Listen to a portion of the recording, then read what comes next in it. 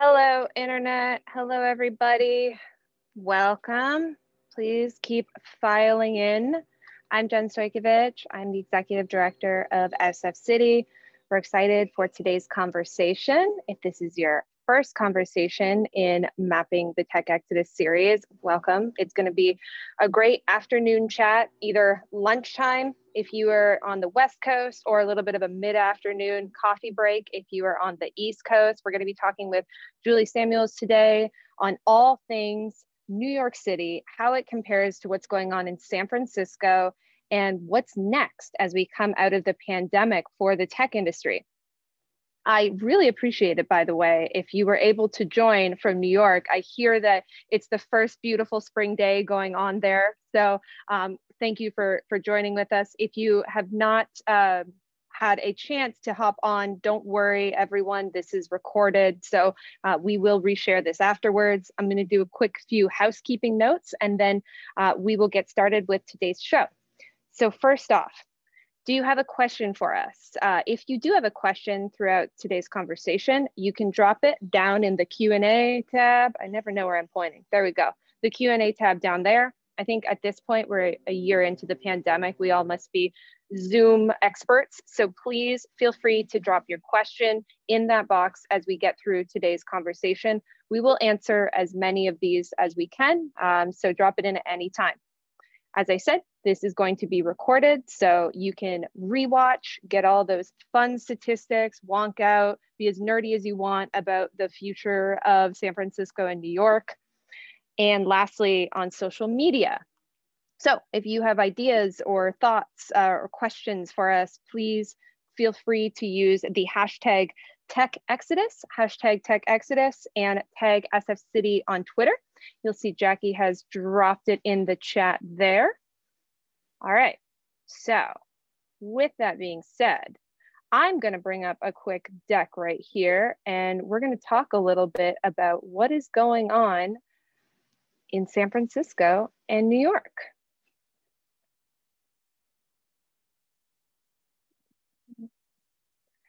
So first off, who is SF Citi? So we are the Tech Trade Association of San Francisco. We were founded in 2012 to empower the San Francisco tech community to have a voice in all things policy, government, uh, community leadership. We are tech's conduit uh, to the city of San Francisco, much like Tech NYC is in New York City and New York State. You're going to hear a lot of numbers today uh, because we have created a dashboard where we are specifically tracking everything going on in San Francisco, in the Bay Area, how the changing tech migration is affecting folks uh, at the city as well as the rest of the country, tons of information about various different policies, uh, as well as predictions and trends that we're seeing of where tech could be moving and what the future of tech looks like. So if you want to read all of the things that I just listed, you can go to sfciti.org slash SF Tech Exodus. This is a dashboard that we keep updated. It is the one-stop shop for all things Tech Exodus San Francisco.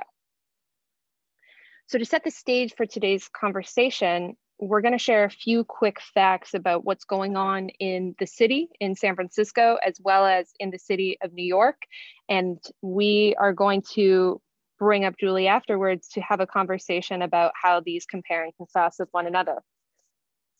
So as of right now, the office vacancy rate in San Francisco is reaching close to an all-time high. So we're just shy of 18% office vacancy to put that into perspective, if you had talked to me a year ago, we were at less than a 3% office vacancy rate. So this is an absolutely staggering amount. Uh, we have the equivalent of over 10 Salesforce towers currently on the market. There have been a number of big announcements, obviously, um, everyone from Yelp, uh, Wish, Optimizely, as well as um, some of our biggest employers have announced a remote first policy. And with that, of course, has come dropping of lease space. We don't quite know how many folks have left the city in San Francisco. Uh, we do know that there has been just shy of 90,000 USPS address changes um, outside of the city proper. So to give you a little bit of perspective, that is five times the number from 2019. Obviously, the most notable effect of this is the huge rent drop. So our median one beds were going for 3,600 a year ago, and they are now, according to one study, as low as $1,900. So a staggering drop in rent. Interestingly enough, that same drop is not being seen in real estate and sales. So rent is having a drop, but housing prices not as much.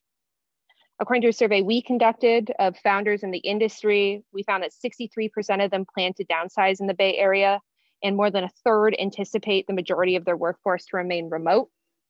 And of course, um, San Francisco, up until uh, this week, was facing a budget deficit of well over 400 million for the upcoming fiscal year, 650 million uh, over the next two years. As many folks know, things have changed with the COVID bill that just passed. And so much of that budget deficit is going to be uh, wiped out by the federal government. But it remains to be seen how San Francisco is going to move forward uh, with some of these continued spending patterns that have led to this deficit and whether or not some of our predictions around taxes will come to be true and we will be able to recover at the rate that we're currently forecasting. So what's going on in New York? So the other big exodus that you are hearing about anywhere that you go is of course New York City. I'm going to cover a brief overview uh, and then we will bring up Julie, who will really give us um, the deep dive on all things going on in the city. But at a high level, there's been a 70,000 uh, person net population loss in 2020. Uh, so that's translating to approximately 34 billion in lost income. Although this is not a huge number compared to New York's overall population, uh, most of the people leaving the city tended to be those with higher incomes. So that has been a pretty uh, big drop in lost income there's also been a big rent drop happening in New York. I've heard lots of stories of folks that are finally moving into Manhattan for the first time in their lives because they're finding crazy uh, rent prices that they never thought that they would see. So I'm sure that'll be something we'll be talking about more. Uh, New York, of course, is facing an office vacancy rate as well. So over 15%, a 26 year high, uh, not quite as high as San Francisco, but still quite a high amount. New York will also uh, be looking at a budget deficit. So they have between a 3.8 to 6 billion dollar budget deficit that was coming in the next fiscal year. Tax collections have fallen by 3.5 percent which is pretty significant as well. Of course, we can talk about how Biden's stimulus package is addressing that deficit, um, how much of that is going to be covered, uh, what that means for the future budget, much like San Francisco. Um, there, there's a very significant impact to the federal bill that has just moved forward. It's not all news, uh, it's not all bad news coming out of New York though. So one of the things that is unique is New York tech firms saw a 75% increase in VC funding it's almost $6 billion. And New York is now home to 17 tech unicorns, the second most of any American city. I think we all know who the, the top is currently. So it'll be interesting to see how New York's recovery mirrors that of San Francisco's, um, what we can be doing as leaders in the tech industry to recover together, and, and what else um, is in store. All right. With that being said, I'm back up here. I'm going to welcome the amazing Julie Samuels on stage as we bring you up. Julie, I'm going to launch our poll. All right. How are you? We've got you on mute. Hi. Thanks for having me. It's like the quote of 2020. You're on mute. You're on mute. I'm excited about the poll. Can I take the poll really quickly or should we start while others are taking the poll? All right, we can start talking and then I will end the poll once we have a good amount of votes in. But people are asking, or people are answering, what factors matter the most to you in choosing a city to live in? We've asked this at all of our talks and it differs from city to city. We're not seeing the same thing everywhere. I believe that. Well, I believe that because, you know, each of these cities has such unique attributes. Exactly yeah, Nashville had a very, very different uh, response rate than Seattle did a few weeks back. All right. Um, so, where do you want to start? I think the best place to start would be let's talk about what things look like a year ago. So let's, or actually a year and a few days. Let's say before the pandemic was was uh, was announced and the whole world shut down, yeah. and never to be reopened again. Um, what was New York's sex scene looking like? And you know, you came from San Francisco as well, so you've got a really good understanding. You understand both ecosystems. Um, I'm very interested to hear what it looked like and, and how that compared. Yeah, I think you know, I, I have to say that quickly to, to set the frame here, to set the to set the framework a little bit. A lot of the stats you had on New York uh, are not tech specific stats. And I think mm-hmm. that's mm-hmm. a really important point because New York's economy is so incredibly diverse and we have so many industries headquartered here, um, which is an important part of this conversation. So before, you know, in February of 2020, um, tech was booming here, you know, just growing gangbusters. And I think that that trend actually largely continues to be the case. Um, because what we're really seeing is it's not just the creation of new tech firms here, but it is the uh, process of all of these other industries becoming more technical, for lack of a better term. You know, you're yeah. seeing so many more companies that are at the intersection of finance and tech, uh, real estate and tech, media and tech. I mean, you name it, fashion and tech, whatever. All of those yeah. industries are already headquartered here. So the growth is new companies, but it's also, um, you know, uh, very old companies hiring more technical talent, bringing in tech teams, and that combination is uh, is a really healthy combination, I think, for the city's economy. Yeah, absolutely. And that's kind of similar to the earlier days before the post 2008 boom of, you know, the modern tech boomer in San Francisco, right? We had you know, Levi's, Levi's.com, you know, Macy's, Macy's.com. I'm sure, you know, you probably remember seeing some of those retailers switching to e-commerce and they started to really kind of come into the, the tech space as well. Yeah. And we're seeing more and more of that. And, and the other thing we're seeing is more, again, new companies in those kind of verticals. And what happens is then, you know, we get a technical, technical co-founder or whatever who brings in a substantive expert who's worked in that industry, but maybe doesn't know that much about tech. And all of a sudden, like now you're on to something. And that's a very New York story, again, because so many industries are headquartered here. In the early kind of, in the early big tech expansion here in New York, it was uh, like sales offices. All the big yeah. on the West Coast were opening their sales offices. Yeah, sales and marketing. Marketing teams here. Yeah, uh, but they were keeping their tech, their tech teams, their engineers mostly in the Bay. In the past five to ten years, that has in the past five years i'd say that has fundamentally shifted. And now we have very robust tech teams here as well. Uh, we increasingly are seeing you know whole technical offices even for company even for companies who have a west coast headquarter uh, spinning up here. And i think that's been an interesting dynamic as well. So that was all what was happening you know it, again february of last year. It really this is uh, the kind of the way we thought about it. For a long time there were two things that were happening here. If you started a tech company here, or if you were an investor, for instance, here in New York, you inevitably get asked, why aren't you doing this in the Valley? And people would have answers, you know, for what they would be doing it here because they lived here, or their family was here, they loved it here, whatever. Yeah. But you always got asked that. Some point, you know, five to 10 years ago, you stopped hearing that question. That, that just kind of fell away. And the other thing we really saw shift here was that uh, we, we heard anecdotally a lot, of course, from engineers who would finish school and be deciding where to go, deciding where to take a job. And uh, they would have, let's say, an offer in New York and an offer in somewhere in the Valley. And they'd want to go to New York for whatever personal reason they wanted to go to New York, but they were worried that they wouldn't be able to find a second job in New York. If yeah. the first job didn't work out, it would be really tough to make a jump. And so they would choose the West Coast for that reason. Again, in the past this one I'd say past five years, that that went away. You can, you know, ha- have an entire technical career at many different companies in New York now. Um, and so I think this is actually, I'd love to hear your thoughts on this because my sense is that some of this plays into the tech exodus in San Francisco too. I think, you know, a lot of people went to San Francisco or the, the Valley more broadly um, only to work in tech, not because they were dying to move to the Valley.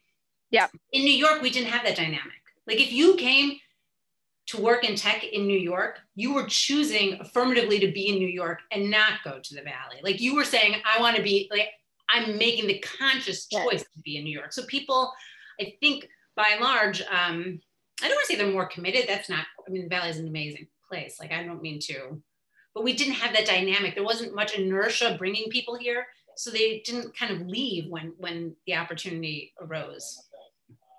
So I think there's so there's a few things that, that I'll touch on. So first off, I think when you speak to the valley, yeah. there's definitely you choose the valley because you're choosing your career. You're choosing a launch pad that, you know, if you can say that you've been in the valley, you can go anywhere with that on your resume. I think that's that has that's still true to this day.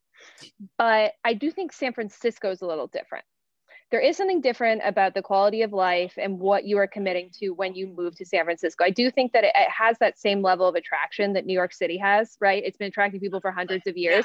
Um, but I do, but to the valley overall point, definitely. Nobody woke up one day and probably said, you know, I dream of working in Menlo Park one day. Like, I'm so excited to go to Palo Alto. There's a San Francisco dream, there's a California dream, um, but not necessarily a valley dream. Yeah, I think that's fair. And I mean, listen, I lived in San Francisco for a long time and loved it, and um, you know have had an amazing experience there. I think that's that's probably right. But then I think that the you know one of the things we've seen, and we have some data on this, and I'm kind of looking at these poll results too to see how how they mirror. the high concentration of yeah. professionals. Yeah, that's what I say because you know one of the things that um, we're really finding is that increasingly issues that we used to think of as secondary uh, issues around like good schools and safety yeah. and I hope we'll talk about transit too because I think it's a huge differentiator between our two cities. Um, those kinds of issues were things that at Tech NYC we thought about again secondary issues. You know, yep. the first thing, the primary issues were how do you get, how do we ensure that there's enough talent here to hire? What are the policies that directly relate to tech companies? But what we've seen over the past surely since COVID, but I think this trend was already starting pre COVID, is that those issues that used to be secondary are now primary. And it's about making New York City a place where people want to live and want to raise families and want to be. And if if those things are all true, then the companies will come and stay. And then now you now you've got a cycle, you know, now you're feeding yourself. Yeah. Yeah, I think that that's absolutely true. And that's something that we've seen shift too with SF Citi. You know, originally innovation, regulations, taxes. Of course, that's the bread and butter of, of what a trade association does. But increasingly, these last few months for sure, but even these last few years, we started to look at that quality of life. And that has become such a huge part of how you attract talent, what our employers are looking for. You know, it's no secret that San Francisco is suffering from a, you know, quite a quite an issue with, you know, those are experiencing homelessness. There's there's no secret that, that San Francisco is seeing huge uptick in public safety issues right now. Um, so a lot of those quality of life issues are the number one thing that that folks are talking to us about right now. Mm-hmm. And I think as we think about reopening the city, we have to think about what attracts people to a city when they have the option to work remotely forever. You know, yeah. a lot of firms are saying you can permanently re- work remotely, go live in the mountains, or you can work kind of sometimes in the city, you know, that whole remote first 20% of the time in the city type um, situation, which I think will be the majority of folks. How do you get them to want to come back to the city when there are so many of those quality yeah. of life issues that are seemingly worsening as well? So I feel, I mean, first of all, I feel bullish on cities, period. I just have to yeah. say you know, I believe in agglomeration. Like I, I believe in all the benefits that come from that. I believe that people in our industry in particular, but all kinds of people will always want to be in dynamic, big, exciting cities where there's yeah. access to cultural institutions and all different kinds of people and, you know, cool people, all, cool yeah. ideas. There are people yeah. who are city people. And, yeah. and by the way, there are people who are not. And like, so there will always be some kind of core group there. And I feel really, I feel good about that in the long term. The other thing I feel really good about um, and this is a very specific to New York uh, dynamic, but when you talk about the hybrid, the 20% time, however we end up figuring out what that looks like, people come into the office, let's say two, three days a week, they work from home, to, whatever that might be. The thing that's really amazing about New York is not just that our subway system is super functional in New York City, but we have an amazing regional transportation network. So you can conceivably live somewhere in Connecticut, in New Jersey, in New York State. You can live in the suburbs, you can live in the Hudson Valley, and you can commute on light rail. You can commute on Metro North, on Amtrak, two or three days a week. That's a problem for New York City's tax base. I don't, it's not like this is not a silver bullet, but I yeah. think that means that the jobs stay in the city. They yeah, stay yeah, yeah. because all of a sudden, what is a 90 minute commute that seemed horrible five days a week, a 90 minute commute on a nice train where you like, you know, the, the if you're going up to the Hudson Valley to Albany, you like literally the train rides along the Hudson River. It's beautiful, actually. You know, all of a sudden you do that 90 minute commute twice a week is not not so bad. Um, mm-hmm. And I think that means I feel really bullish that New York City will keep those jobs, and you'll again not great for the city's tax base. And then there's other things I'm really worried about with regard to some of those changes in the city's kind of economic makeup that we can talk about. Yeah. San Francisco's had a lot of this too. Um, but San Francisco is actually a pretty small city geographically speaking, it's tiny. New York is obviously not tiny, um, is huge. And one of the real issues that people are worried about right now is that we've got some serious business districts. We have a central business district, we have the financial district, and right now those places are pretty um, bottomed out. Not bottomed out, that's mm. not. Yeah. They're deserted. Um, and there yeah. are a lot of businesses, a lot of small local businesses who you know, Times Square is another great example. Um, th- there's whole neighborhoods in New York that um, rely on people being there either nine to five, five days a week, or like Times Square 24 seven. Um, and figuring out what it looks like, like what with all that office space, all that like class A office space in Midtown. If people aren't going back to work all the time, like what does that mean for Midtown? Um, yeah that's that's something that that we're dealing with too. And uh, before before I respond to Julie, I just want to recommend or remind everyone the Q and A. If you have questions throughout the chat, I'm sure you guys have ideas, thoughts, remarks. You want to push back on something we're saying, you know, feel free to drop it down to Q and A, and we'll get to them shortly that's one of the things that we're dealing with too in San Francisco is our downtown is a ghost town. You know, we met with the chief economist yesterday and, you know, I think he said 40% of small businesses have closed. We've heard that 80% of restaurants in the, the downtown area have shuttered because they rely on those class A office buildings, as you mentioned. And there's just there's so many more ramifications when it comes to those office buildings than I think people yeah. people thought you know so many of those small businesses and restaurants were doing catering orders for these giant yeah. offices every day and you have to think even if we reopen the offices you know i don't think I think we all know we're going to reopen the offices, but if we reduce that footprint in the office 80% a day, mm-hmm. those businesses. what is that, exactly what is that going to mean? And so in San Francisco, the businesses that are doing well still, the restaurants that are doing well still are the ones that are in the neighborhoods, you know, the ones that have their own corridors where they already have a community that's supporting them. Mm-hmm. They're still doing well, but in downtown, how do we revitalize that downtown? You know, yeah, one of the again, again, we've done it before. We've done before, right? One of the uh, the cha- one of the opportunities I think in that challenge that I'm really excited about, but recognize it's very complicated, is what it looks like if you start creating um, little locuses of economic activity in different parts yeah. of the city where it wasn't before.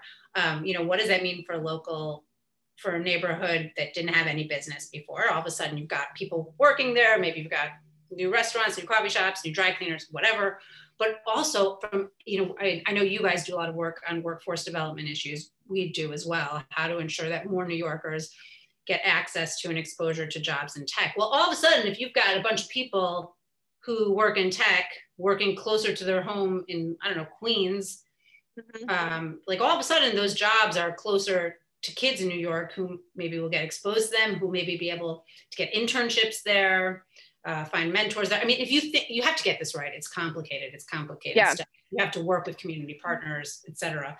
But if you get that right, there's a lot of amazing opportunity.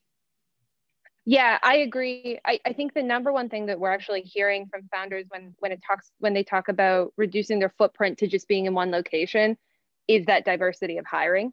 Yeah. Yeah, I'm curious from your standpoint, do you have that same issue with the diversity of hiring, with the homogenous kind of population that, that tech has started to become in San Francisco in particular? Are you seeing that in New York as well? Yeah, I think that we have a diversity problem. Yeah. Yeah, we have that here too. Um, I mean, we're doing a lot to, you know, we talked about how important it is to attract people to want to live here. It's just as, if not more important, to ensure that New Yorkers are getting the kind of education and skills training to get these jobs as well. And we're seeing, we're seeing a lot of progress on that front. For instance, we um, in New York have a 10-year public-private partnership called CS for All that's you know yep. more than halfway through putting computer science education in all of the city public schools. We have CUNY, which is this like amazing public institution here that makes uh, secondary education very accessible, very high quality secondary education accessible to New Yorkers. And so we're starting that, we're thinking a lot about that as part of this conversation. Um, but yeah, we have a lot of work to do on that front. You know, there's one thing I, I have to, um, I haven't gotten a chance to say, and I feel like it's an important piece of the trends in New York with regard to where tech is right now. Um, and it's that the only companies who have publicly doubled down on New York City like signed big new commercial leases, committed to hiring new employees here in New York City since COVID, you know, since March 2020 are tech companies. Facebook's mm-hmm. opened a huge new office. Amazon or has signed a huge new lease. They're doing the build out now, and offices aren't yep. open. Amazon, TikTok, um, Google has made a huge commitment to the west side of Manhattan. They made it just before COVID started, but they, you know, they're they're committed. Sticking to it. Commitment. And so, actually, the only companies who've doubled down on New York are tech companies. And in fact, the companies that are leaving in that slide where you talked about our vacancy rates are like finance. Finance. finance yeah, you know, they're, they're all not, Miami. yeah. I think it's really, it's a really important dynamic about what's going on here um, as we talk about tech. And I just wanted to make sure I should have gotten that in at the very top because it's yeah, it's key. That's interesting. Yeah. yeah. yeah, that is interesting. I'm curious. Uh, you mentioned that you guys had historically been satellite offices, so to speak, for West Coast operations. And one of the growing pains I think that we're going to face in San Francisco and the Bay Area is that so many founders and established companies, so both those that are creating companies and those that already have companies, are moving away from their HQ model. Yeah. So historically speaking, we would have the HQ in San Francisco or the you know somewhere down the peninsula, wherever it might be, and then you guys would be kind of a there's the cool New York office, there's the cool Austin office, but they're not exactly. And so I that trend to a founder today who's based in down the peninsula, and they're they have a, an office here. That's their quickest growing office. That in the next two to five years will be their biggest office, and their yep. entire um, executive team will end up sitting here, except for maybe the CEO and the CFO. Yeah. And like yeah, and that's headquarters, right? Then their executive team is just kind of split. Yeah, I mean that's increasingly what we're going to be seeing. You know, as we have conversations with Nashville and you know we're going to be talking to Miami and, and Austin, all these places. They used to be second fiddle, but now there really isn't going to be. And for most tech founders, the Initialized Capital report showed that three quarters of them don't ever expect to have an HQ model. So these future companies are never going to take those giant buildings, you know, the giant buildings that you have empty, the giant buildings that we have empty future founders don't see that as the way that they grow their companies. Yeah that's it's really interesting to think about what that looks like. I mean i think as a practical matter my sense is that a lot of companies who are like we're going to be remote forever or we're never going to have an hq like my, my sense is that people will want to be together again. Yeah yeah. And, and there will be hqs because at the end of the day management teams want to be together. People want to have meetings. And right now, I, I think it'll take some time for that all to shake to shake out. Yeah. Also, in different places, it looks different. Like you can tell from my background, I live in an apartment in New York City. Like I don't have this is obviously not a home office. you know, yeah. like I I want to go back to an looks office. great. Yeah, it, it looks great. It's great, yeah. but it's not. um yeah. You know, and as opposed to if you're in I don't know Boulder or Miami, like maybe you do have a, a really sweet setup with like a great home office and like that's not happening in New York City. That's probably not happening in San Francisco, but definitely not in New York City. So like I am I can guarantee you I'm going back to the office, you know? like Did you yeah. Did you hear about the sheds? Did you hear that there was like a huge there's like all yes. these companies that startups that are just putting like office sheds Yeah. I think it's great. I mean, I think that's all. I think a lot of this is, is great. I mean, the other thing that is really interesting to me, this was true when I lived in SF, um, is that tech has always had more of a culture of work from home. Yeah. Well, they kind of um, invented and, it. For, yeah, you know, and we, we just much more seamlessly fell into that. Yeah. But again, in New York, if you live in New York City, there's no way working from home is like pleasant. Yeah, it's yeah, that's that's totally fair. It's like Tokyo. I you know some of the the executives I've spoken to said, you know, our Asian offices they reopened in the summer. They said there's no way. I live with you know six people in 600 square feet. Right. You're like, forget this. Right. Yeah. No, I mean, absolutely. But I do, I do hope there's more flexibility. Yeah. Um, and I do hope people feel comfortable working from you know wherever. And I think I think a lot of that will retain a lot of that, but not all of it. At least in New York, New York is such a competitive culture that I know I really have this sense that once people start going back to the office, yeah. get ratcheted up and, and, they're all climbers. Yeah, I mean, I hope it's not like that, and I hope that people feel comfortable working from wherever they want. But yeah, yeah. just knowing the culture okay. in New York, I feel like yeah, that's fair. It's a, I mean, that's what New York's known for. That's yeah. that's why you go to New York, right? Um, so just a reminder to everyone, you can drop your questions in the tab. We also got a whole bunch through Eventbrite. We will get to them soon. All right, Julie, tell me about taxes. How's your tax base shifting?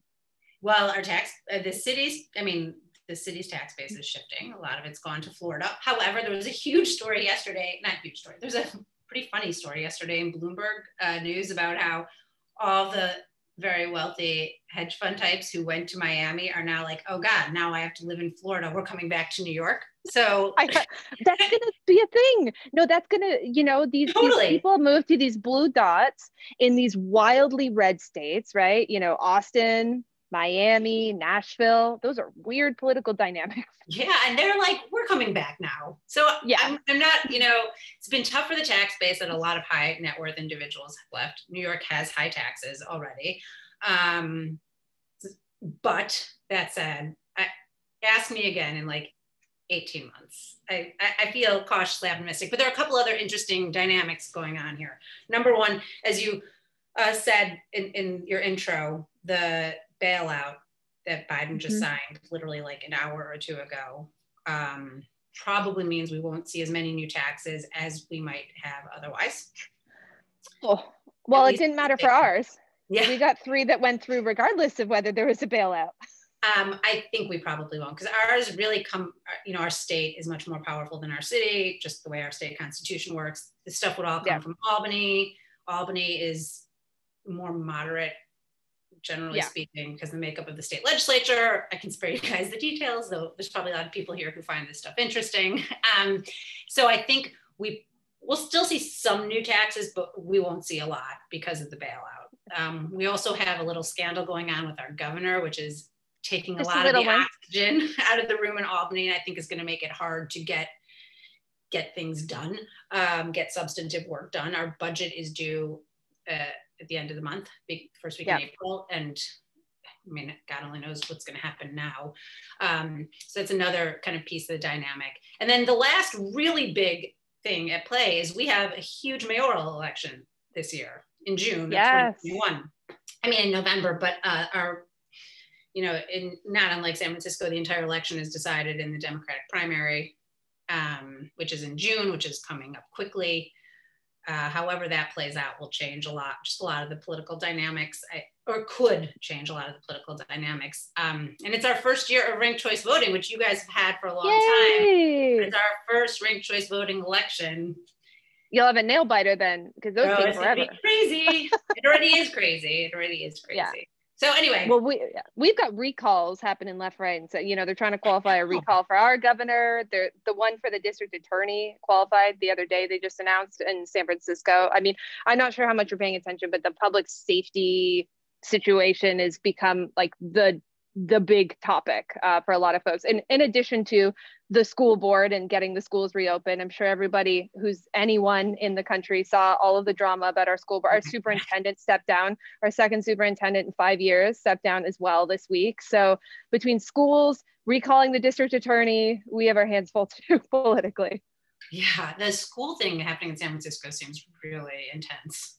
It is, yeah. And I mean, there's, it was already such a, the San Francisco public schools have been suffering for a very long time. And the fact of the matter is, like, we have the highest privatization rate of anywhere in the country, right? A third of all students go to private school in San Francisco. And the disproportionate effects of the mm-hmm. pandemic on our public school kids because the private schools reopened months ago.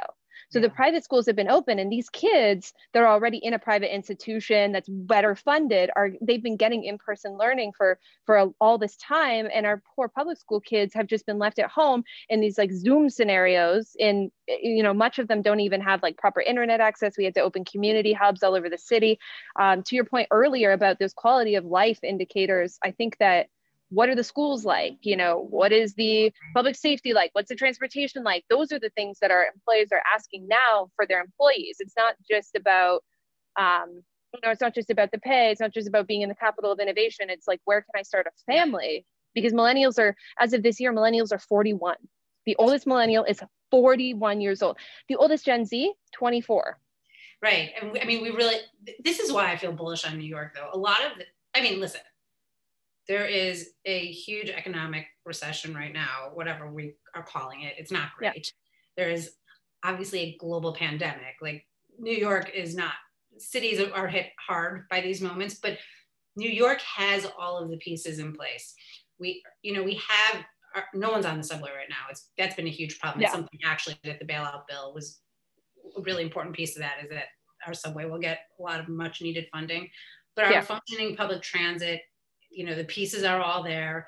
Our we have a lot of work to do with our public schools but the younger yeah. kids especially have been in school at least three days two three days a week for much of the year in new york city public schools. Um, it's not enough but it's it's frankly, better than way better than, than most of the country eh, you know most yeah. of the cities in the country. Yeah. Um, and so I, and obviously all the cultural institutions the museums um, you know, the museums are open, the zoos are open. Broadway is, is real, uh, it's a real struggle for theater and Broadway. Yeah, um, I can imagine. Yeah, and that part's been really tough for the city. But, you know, they, uh, there's a great place called the Park Avenue Armory, and they just they do some really great shows there. And they just opened up and I, this is just anecdotal and they just i think announced their first two shows and they sold out in a few hours. So people are like hungry for it you know they're hungry. Yeah. and the vax as more and more people are getting vaccinated and as more and more stuff is opening up and as the weather is getting nice which as you said it's a gorgeous day here in new york like it, i really feel like all those all those quality of life indicators like that stuff is going to just be moving here. Like it's going to be jamming here in new york. And i feel yeah i feel pretty confident. I feel bullish on i feel very bullish on new york.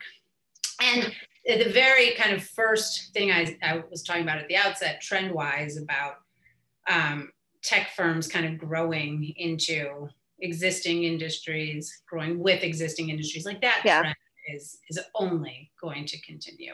And and I think one of the things that we've seen from COVID is that it's COVID accelerated the adoption of a lot of technology that was already underway. You know, the adoption was already underway, but COVID's accelerated mainstream adoption of a lot of things. Telehealth, obviously, comes to mind. Video conferencing, obviously, comes to mind. But I, I think even beyond Flax that, acquisition. Yeah. So I think we'll that was see, big. I think we'll see uh, that that you know as, as more and more people in the country and in the world become more comfortable using technical tools, that trend of existing industry and tech, like just the lines being blurred, that that trend will only increase, and that really stands to benefit New York City. Yeah, I think that your your point to the the fact that they're they're you know we call tech a thing. We just say tech is a thing. Tech workers are a thing. But it's at this point in 2021 they really aren't. They're not their own category. You know there is tech people that work at, at, you know everything from your banks to your educational institutions to the city government. And so i think that monolithic concept of tech is really just going to the wayside and, and it will have to. As we move to this new remote first environment i think you know let's be honest i think remote first is the way that a lot of folks are going to go they have to blend together and if if um, companies want to be able to compete they have to be able to compete on that level too. Yeah, I think that's right. And you know, the the financial the banks here compete with the tech companies for when they're hiring engineers. It all right. That, I mean, exactly what you're saying. Like every company is a tech company. Yeah, that's the thing. You know, that's the you know when we look at um how many tech workers are in your city, it's really hard for us to be really able to get a proper estimate. What where are you guys I, I, can tell you like our guess. What it where are you guys? I mean, so for? our data is not. We don't have. First of all, it's not that new. It's a few years old at this point, but we think it's around the low. I would lowball it. It's around three hundred eighty thousand. So I think it must okay. be much more. But then it's like, oh, are you counting tech workers who work at tech firms, or are you counting exactly. technical people who work all over yeah. the city? But either way you look at it, it's probably at this point I would guess you know pushing half. But again, how you okay. define it is complicated. What do you guys think? Well, I mean, we have that. We use like the NAICS. You know, we try to use the codes and um. The codes are they're not really helpful though. No, they, need um, to be. We need some new definitions in the codes. Yeah, you think the federal government hasn't adapted our tax codes efficiently?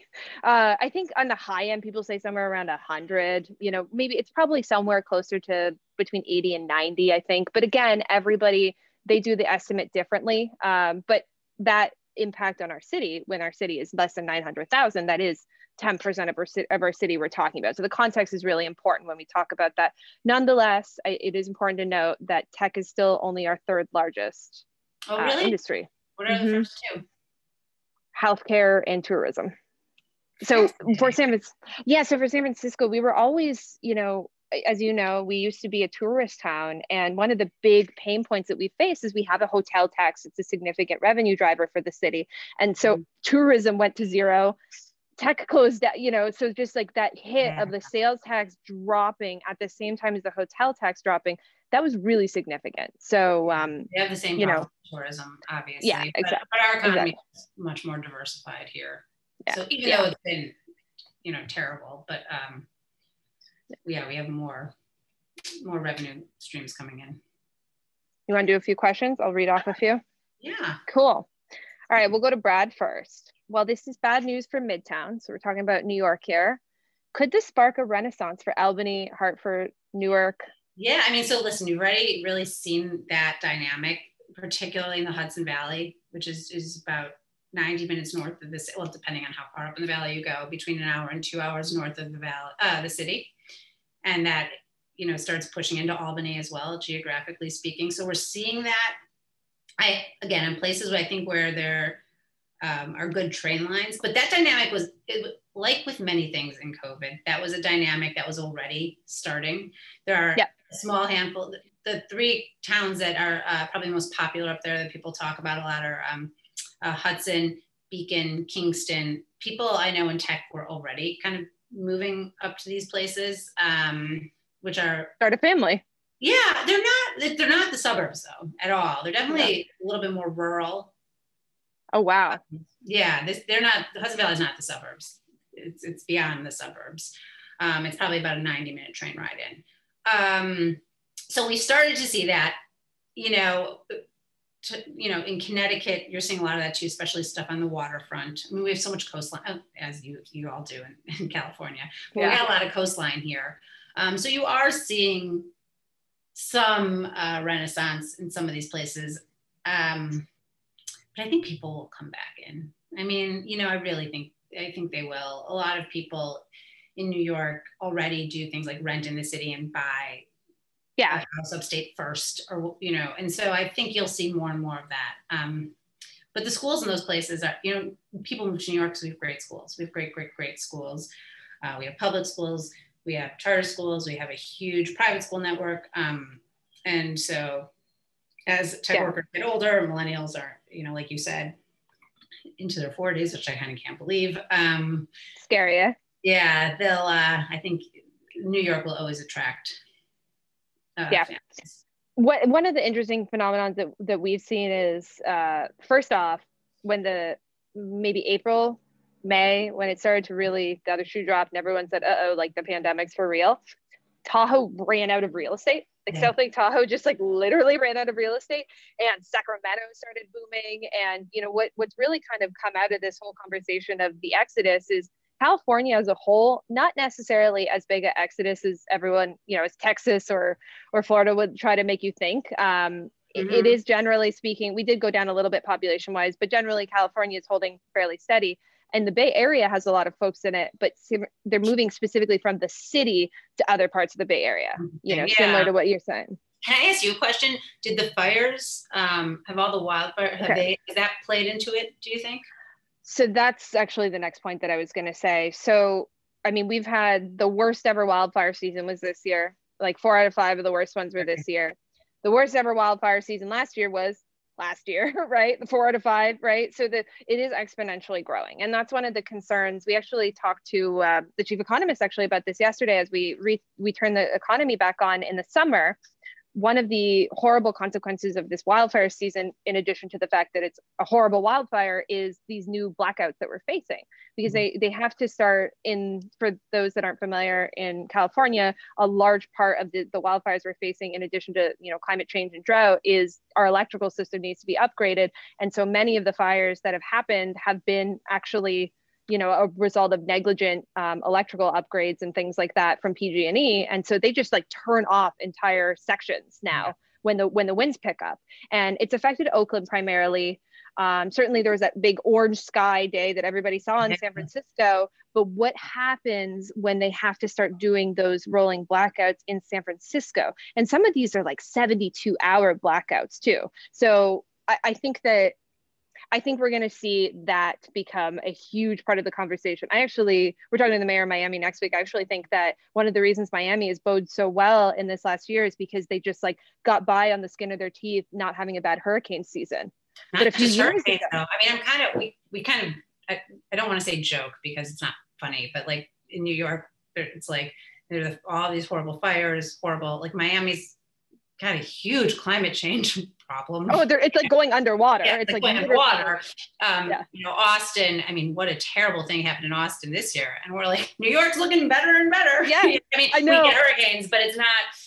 Again, we don't joke because none of those things. But no, funny, no, the, but you know what I mean? Yeah. I, I mean, the Canadians I talk to all the time say Toronto was looking better and better by the day. London's feeling pretty good, and but well, that is a very. Yeah, well, that, uh, with the AstraZeneca debate, I think people are, are on two different sides now there. But I do think that the conversation around climate change in California, that was the big thing everyone was talking about and was worried about before the pandemic hit. We were talking about how are we going to, you know, deal with the electrical system. There was this whole movement uh, that you might remember happening where cities were going to start buying their own um, grids. And and so we had this whole situation where san francisco said you know i'll buy one and san jose said i'll buy one. And then you just like have all the central valley and all of these other um, more rural poorer communities that don't have the money to buy one. So where was the solution for there? Um, that would have been the number one topic last year if the pandemic hadn't hit. It still remains a critical crucial issue in california. So interesting. Yeah. It's uh all right let's go to a couple other questions. We got some good ones through on the eventbrite. Um where lies the regional advantage in SF versus New York in terms of new technology trends? So any interesting trends you're seeing industry wise? Yeah, I mean, I, I kind of danced around this uh, throughout, but again, we're really seeing, I think, the most growth in, um, you know, tech that's being built in existing New York industries. Um, and, you know, I, I think of that, that fintech, which is a very developed uh, subsector, mm-hmm. you know, really its own its own kind of sector um, is, is one end of that spectrum. And I think you've got a lot coming along. Stuff's really happening in media, a lot happening in real estate prop tech right now. Um, but the other thing that's really interesting in New York, and one place that for a long time New York did kind of lag behind the West Coast was kind of in the more B2B enterprise space.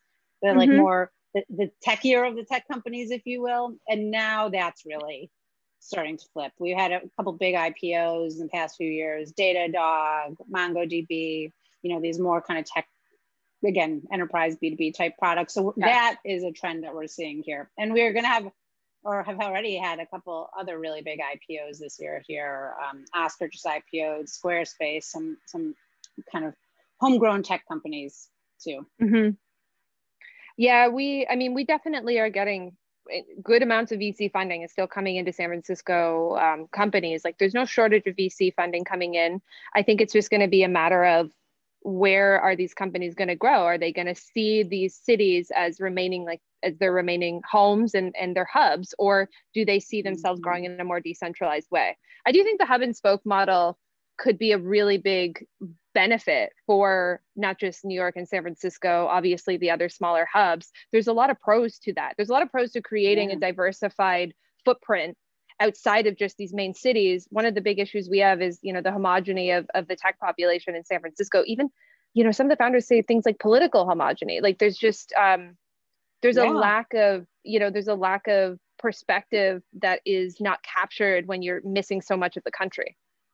And listen, it's good for the country. I mean, we need I economic development across the country. You know, it needs to happen in all the regions. And so, obviously, I mean, given where I live, where I'm raising my family, literally what my job is, like I am here to cheerlead for New York until I'm blue in the face. And I believe that fundamentally. But I also feel very strongly that, you know, listen, tech jobs are the jobs of the future. These are the yep. careers of the future. This is what our economy is going to look like internationally going forward. Like that's, you can say whatever you want about that. Like it doesn't matter. That is the truth. Like I, I don't need to show you data to explain that dynamic to you. I mean, that's just, that's the world we live in. And so increasingly, you know, it's, it's incumbent upon us as a nation and as a society and you know frankly a world though i don't need to yeah. bite off more than yeah. i can chew to ensure that that opportunity is spread yeah no absolutely and you know what was it three weeks ago atlanta just came out with their with their unicorn calendly there's mm-hmm. there's some mm-hmm. really interesting thriving cities and i think that there's a world where you know both san francisco continues to to lead in in tech new york continues to lead in tech but we also grow complementary to these other hubs as well yeah. and they and they have their own ecosystem they can have their own you know you guys have fintech obviously we have you know a lot of other streams of tech here and and they they can specialize and, and have their own regions that that really nail something specific i'm curious just i'm going to just like throw this out there um, yeah. do you think there's a future for crypto in new york with the fintech oh yeah presence? i mean we already see a ton ton happening here yeah. though you know we have um a ton happening in crypto here, but we also have uh, some pretty tight regulations here, tighter That's than kinda, anywhere else. Um, yeah. And so we actually often hear of companies who like literally will just start in New Jersey, which is across the river, um, to get around some of that stuff. But you know, listen, I also think DC is taking a closer look at what's happening in crypto. Um, so maybe we'll get some federal answers here. Um, and it, the, it's DFS here, the Department of Financial Services. They were starting to spend a lot more time um, talking with industry this year, uh, but COVID really got in the way of a lot of that to be more collaborative with the crypto industry yep. than it, it had felt more um, less collaborative, shall we say. Uh, but now, again, COVID has taken all the action out of the room, and also um, our governor's current situation has has made those conversations. I'm just I hope I hope they're all still happening. It's just um, yeah, a I distraction mean, from the business of running a state. I would say the NFTs though they're certainly an interesting yeah. offshoot of and if the there's, pandemic. Again, yeah, and you know New York. This is the NFTs like art collectors like that is non-fungible tokens yeah by the way non-fungible tokens you know we're essentially talking about um, different ways to be trading the values of of assets um, and art is a big one where we're seeing it music's a big one where we're seeing it and that and i mean the stock markets are all based like all of the pieces the nfts are you know it's a conglomeration of like a lot of things how yeah. how i think humans already think of them and all those things are here like we you know we know how to do that stuff here in New yeah. York. I feel, yeah, feel, the Coinbase that. IPO that we're gonna have is gonna be it's a big pretty one. remarkable, right? Yeah, it's a big one. Oof, man. Okay. So, as we come to a close for today's conversation, first off, it's been a joy as always. I'm a little bit bummed we're not on a mountain this time. Oh, I know. Last time we did this, it was in Boulder. Yeah, yeah, and we had to. I mean, we were going to do Toronto. That was going to be our yeah. 2020. I guess we are gonna have to get the gang back together. So I can't wait. Uh, I know it's gonna be a lot of fun. Uh, what would you like to to leave everybody that is joining today? Um, what kind of wisdom would you like to leave them yeah, with? Wisdom. I don't know what wisdom. I don't know. I don't know what wisdom I got, but you know, I will say that um, right before this, I had a call canceled last minute, and so I was able to go outside. Um, and I mean, we were talking about this before everyone got on. You know, it's the first really warm day here. The shots, you know, the vaccines are going really well. And I don't mean to diminish what tough times we find ourselves in all, all across New York, all across the world. Um, and there are people who are really, really struggling. But I just feel really hopeful right now. You know, the weather definitely helps, but it's yep. so nice to feel hopeful again. And I know yep. that part of why I love the work I get to do is that the tech industry is made up of like hopeful, entrepreneurial people who want to solve problems. And if there has ever been a time when problem solving is going to be more important. You know, it's it's 2021, 2022, so we've got a lot of work to do.